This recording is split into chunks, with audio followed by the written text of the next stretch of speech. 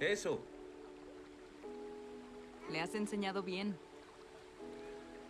Más bien saca memorias de su mente más de lo que le estoy enseñando.